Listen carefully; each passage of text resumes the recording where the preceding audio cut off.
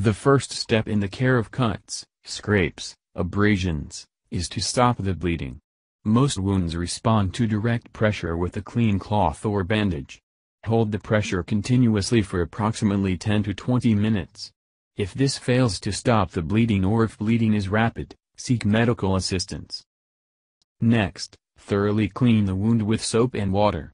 Remove any foreign material in the wound, such as dirt, or bits of grass, which may lead to infection. Tweezers can be used, clean them with alcohol first, to remove foreign material from the wound edges, but do not dig into the wound as this may push bacteria deeper into the wound or injure subcutaneous, under the skin, structures. The wound may also be gently scrubbed with a washcloth to remove dirt and debris.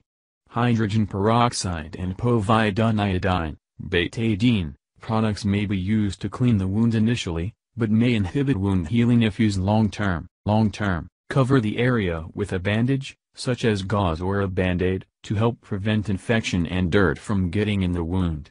A first aid antibiotic ointment, bacitracin, neosporin, polysporin, can be applied to help prevent infection and keep the wound moist. Continued care to the wound is also important.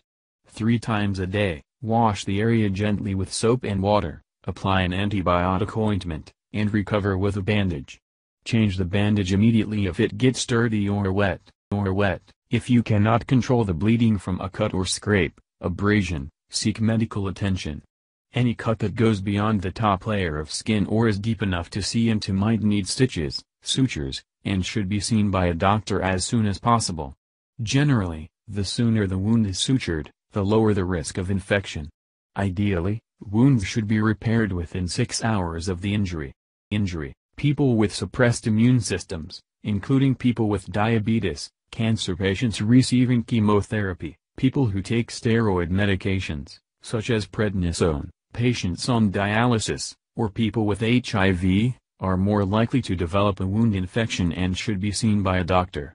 People who are on blood-thinning medication and cannot control the bleeding should be seen by a doctor immediately.